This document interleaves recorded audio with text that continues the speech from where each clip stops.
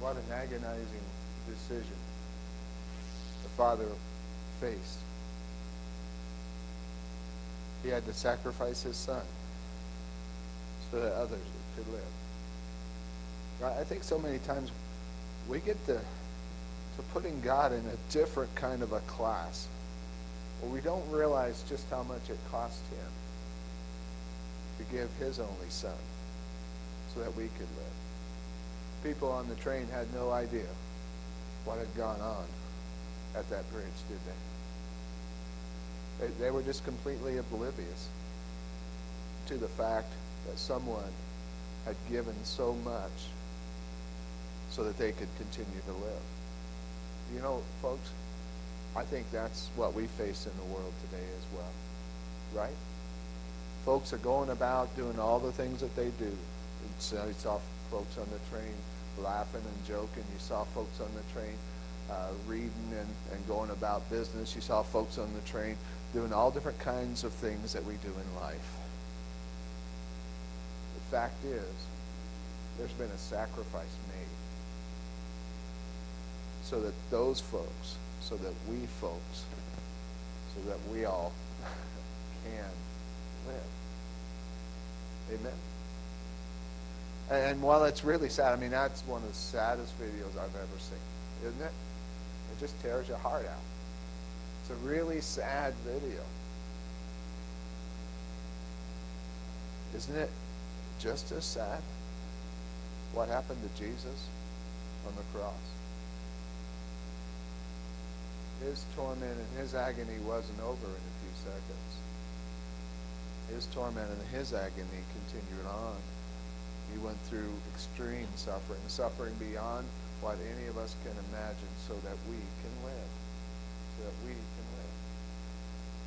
That's good news, isn't it?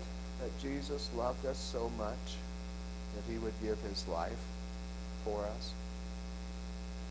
Do we realize what good news that is for us to share with other people?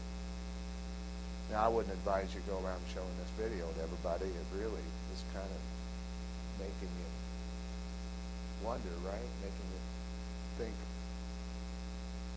But does it make you think? Does it make you think how important it is that people know?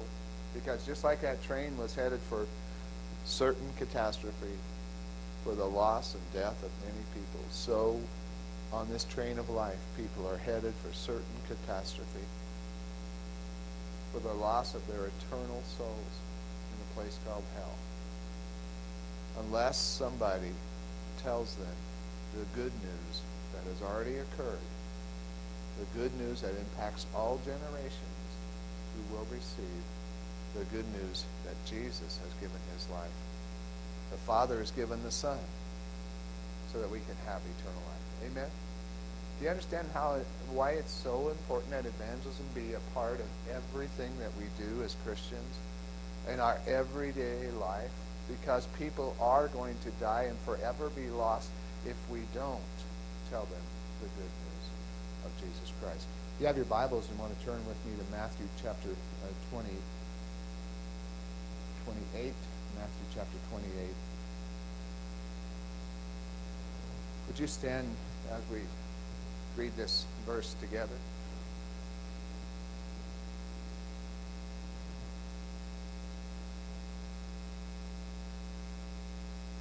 Let's look at beginning in, in verse 18. And Jesus came up and spoke with them, saying, All authority has been given to me in heaven and on earth. Go therefore and make disciples of all the nations, baptizing them in the name of the Father, the Son, and the Holy Spirit, teaching them to observe all that I have commanded you. And lo, I'm with you always, even to the end of the age. Father, I thank you for this, your word. And Lord, I thank you for the commission you have given us to go and share the good news with others.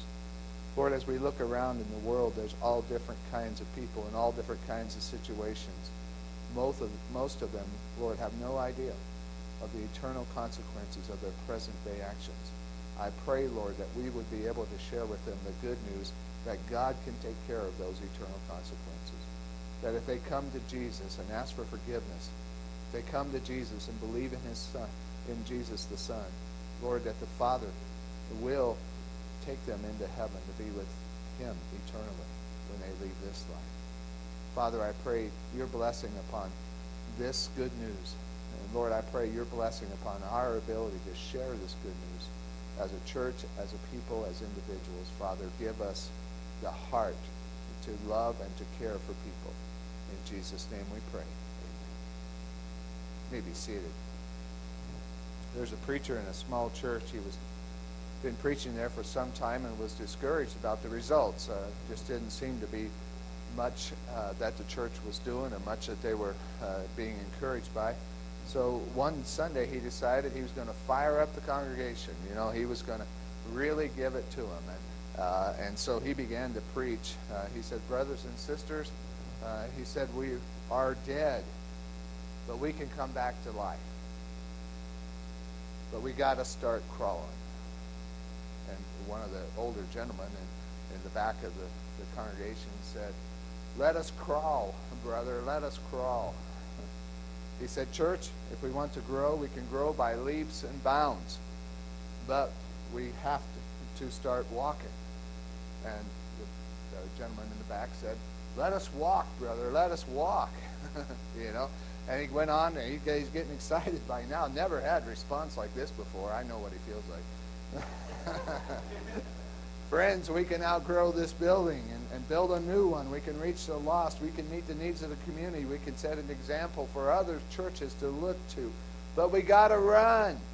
And the, the man and gentleman in the back said, we got to run, preacher. Yes, we run, preacher. And the preacher said, Amen, brother. And now, in order for us to, to crawl, walk, and then run, there's one thing we got to do. We got to work. The gentleman in the back didn't respond right away. Then he said, Let us crawl, preacher, let us crawl. you know, if evangelism is going to be an important part of our church, we have to have an important part of our lives as individuals. We've got to, to really make it what we should do and what we must do in every instance of our life. There's a, a scripture I want you to look at uh, beyond this one. This is our theme scripture.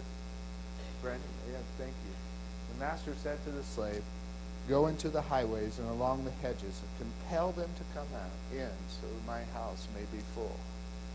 You, you see that see that seriousness of what we're about as a church? Are we about to meet here every Sunday and enjoy the wonderful music and, and go home and then go back to our lives and, and, and have it not impact us during the week? I don't think that's what we're supposed to be about. Amen? Crawl, preacher, crawl.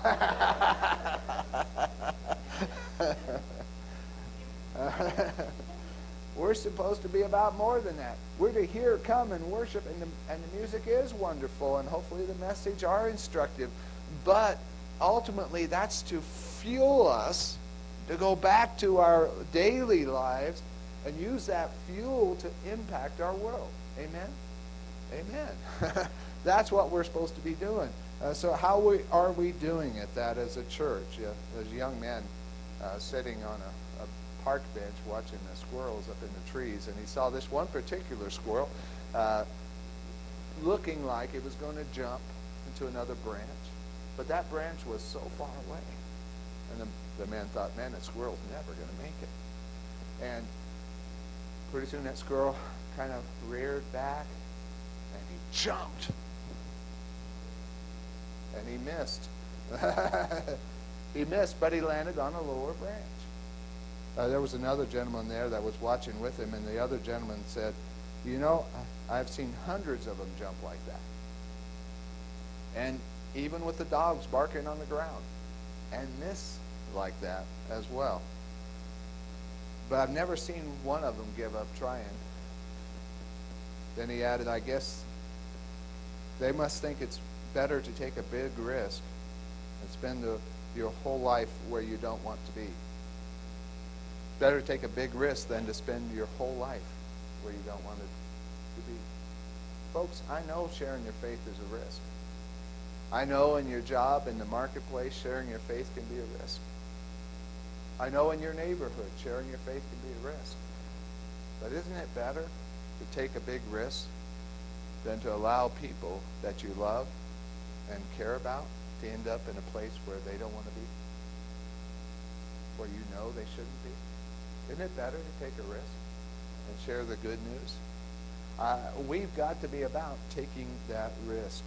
Uh, what, what is our strategy for reaching the lost? I want to share with you some things that are important for us to consider as we think about reaching the lost around us. First of all, the strategy for personal change. You know, if, if you're not personally involved in the gospel, if you're not personally being changed by the gospel, if you're not personally experiencing the benefits of new life in Christ, it's going to be hard for you to share with anybody else about those benefits. Isn't that right? It's going to be hard for you to tell them how important it is for them. We have to, first of all, appreciate our own salvation. This uh, passage up there in Titus chapter 3, uh, beginning in verse 3, it says, For we also once were foolish ourselves, disobedient, deceived, enslaved to various lusts and pleasures, spending our life in malice and envy, hateful, hating one another.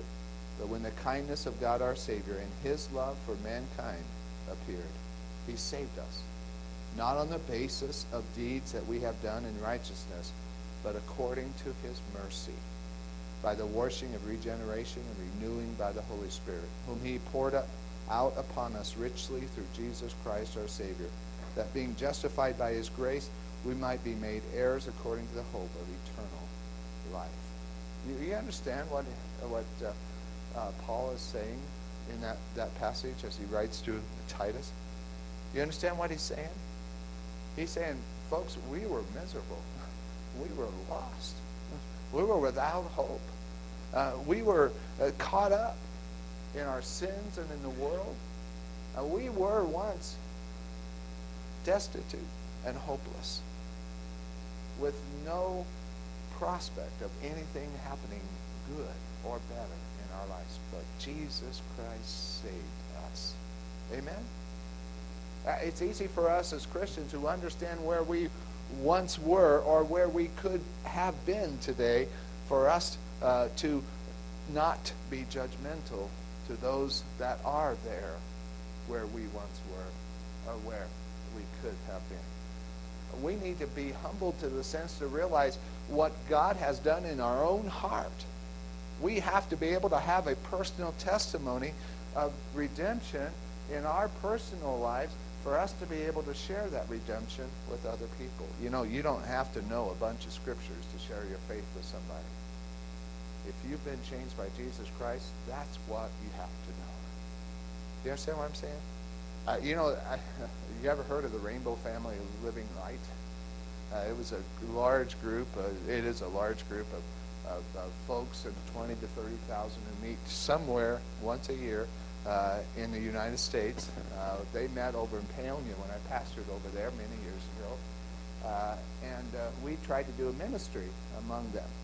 And, and we found we set up a big revival tent outside of the camp, right outside of the camp uh, and uh, invited them to come in to the revival. You know, we only had two people ever come to that revival tent. What we did uh, after that, we figured out that didn't work too well. you know, so we started a ministry on the paths. This Rainbow Family Living Light. There were all kinds of beliefs there. There was even a Christian camp, but you wouldn't really recognize the form of Christianity that they had there. But, uh, but they had all different kinds of people. Uh, you'd meet somebody on the path, and, and they'd be wearing a backpack. That was it. Just a backpack. uh, you, you, know, it was just all different kinds of things that were going on in that camp. We provided shovels for them so they could have latrines. I mean, they were completely unprepared for the weather. We provided blankets for them because their children were blue from the cold. I mean, it, it, it was something else up there. It was unbelievable. We found the only way we could really impact lives up there was by one-on-one speaking with people. And, and, we found that they would be drawn to a musician. So my good friend Jack Jabor uh, over in New Castle, uh, he came up to help us, and he would play the guitar, and then, then the rest of us would sing along as he played uh, many of the, really what they wanted to hear were the old hymns. you know, it's kind of amazing. Amazing Grace. It was very popular. Everybody knew the words to that. And we'd be singing along, and, uh, and then we'd share with them one-on-one, those of us who were there with Jack. And, and it was pretty effective as far as making a, uh, an impact on these folks. But you know what we could share that they would always believe? We didn't do a lot of good to spout a bunch of scripture because many of them didn't believe in the authority of the Word of God. Now, I do. Do you? Amen. Uh, I believe that the Word of, of God is the truth of God. Uh, so it's really important to know Scripture. But it didn't do a lot of good to spout Scripture. It did do a lot of good to say, this is what Jesus did for me because they were all into experience. And if you could tell the experience you had with Jesus Christ, they would listen at length to your experience. I'm telling you, if all you have is your testimony, look back on Titus, consider where God brought you from. Consider what, what God kept you from as well in your life. Consider the person he has made you to be and tell people about that.